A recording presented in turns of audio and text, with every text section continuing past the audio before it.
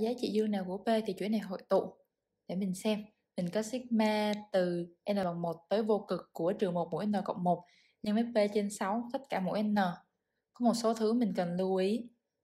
Đây là trừ 1 mũ n cộng 1. Vậy khi n đi từ 1 lên 2 hay 3, cái này sẽ thay đổi giữa âm, dương, rồi lại âm dương. Vậy mình đã có dấu hiệu đan dấu. Vậy mình cũng có hướng giải của bài này. Thật ra để mình viết ra.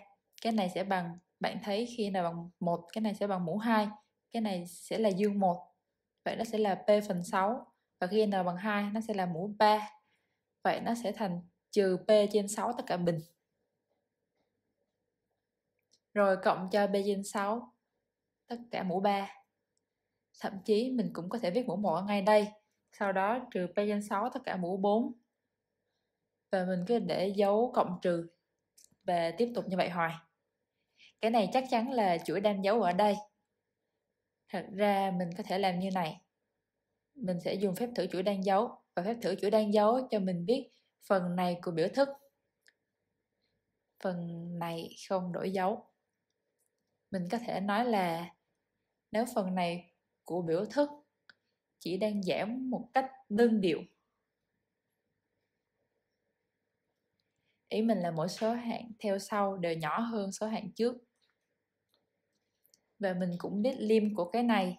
Khi n tiến tới vô cực là nó sẽ bằng không.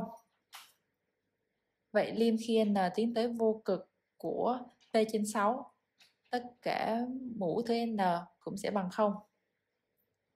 Vậy điều kiện nào thì điều này sẽ đúng? Để thỏa mãn một trong hai điều kiện này, p trên 6 phải nhỏ hơn 1 nếu p trên 6 bằng 1 ví dụ p bằng 6 thì mình sẽ không còn số giảm. Mỗi số hạng ở đây sẽ chỉ bằng một. Nó chỉ là một bình và cứ tiếp tục như vậy. Và nếu b lớn hơn 6 thì mỗi lần mình nhân p phần 6 một lần nữa, nó sẽ có số lớn hơn và lớn hơn. Và chắc chắn lim ở đây sẽ khác không.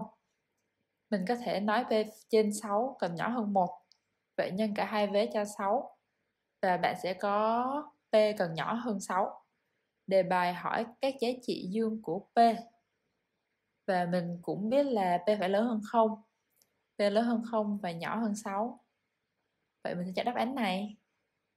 Mình cũng không thể cho P nhỏ hơn hoặc bằng 6 vì nếu P bằng 6 thì số hạng này sẽ chỉ bằng 1 mũi N. Vậy mình sẽ chỉ còn ở đây bằng 1 nó sẽ là 1 trừ 1 cộng 1 và cứ tiếp tục như thế. Vậy đây chắc chắn là lựa chọn đúng rồi.